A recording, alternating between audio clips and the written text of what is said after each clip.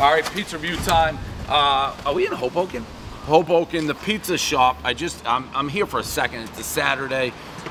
You walk in there, and I don't know what's going on. I thought I was in a guy's living room. I got the story from them. They're both like Barstool guys. They're trying to open a restaurant called Flower, half restaurant, half pizza. They couldn't get the permits, so they haven't got the permits yet for Flower. So they're just doing the pizza. They've been open, I think, six months. Um, open window, open design concept.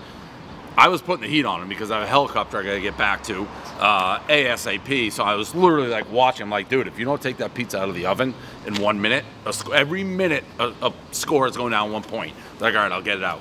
Looked really good. It's a crazy story because they've only been doing pizza for like six months. Like they, because of the way the permitting went, they had to basically learn how to do it.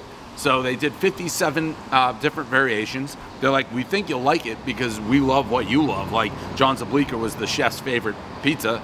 Um, so here we go. We'll see what we got.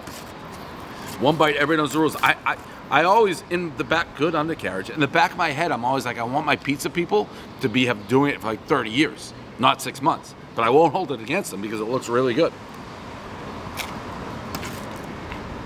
Super crispy.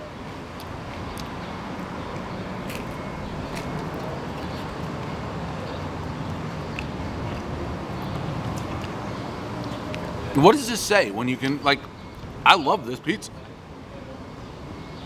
I wish I didn't know that they just learned how to make it six months ago. How, you can do that?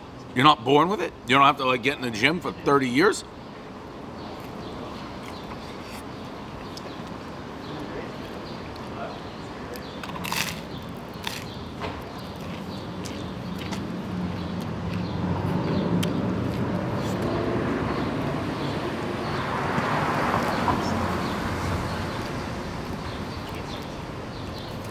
I hear people whispering what they think my score is going to be.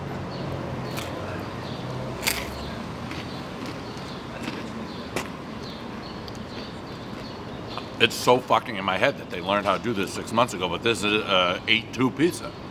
It's that good. It is what it is.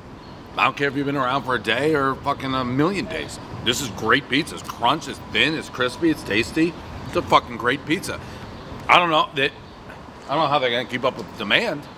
It looks like somebody's living room in there. Uh, pizza shop, Hoboken. They also said there's not a ton of pizza shops around here.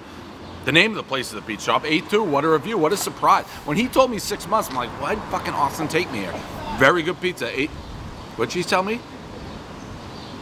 Suck my dick, what'd she say? How would you say that? She looked like she had a violent face on. 8-2, that's her view. Right. Like it? Yeah, I know. More than like it. It's great pizza. How'd we do? 8-2. Wow. Great. You guys don't fucking get excited at all. That's like a big score. It's a huge score. I didn't even want to give it to you because I don't like the fact you guys just learned how to make pizza. It like bothers me. Frank the Tank goes to be a phone call. What? Frank the Tank goes to be a phone call. We're doing a review.